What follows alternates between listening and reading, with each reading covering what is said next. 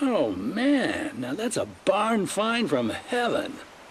This pretty lady is a Mercedes-Benz 300 SL Coupe, and I'm sure you'll agree, she is one of the most beautiful cars ever made. It's going to be a real pleasure restoring her to her former glory.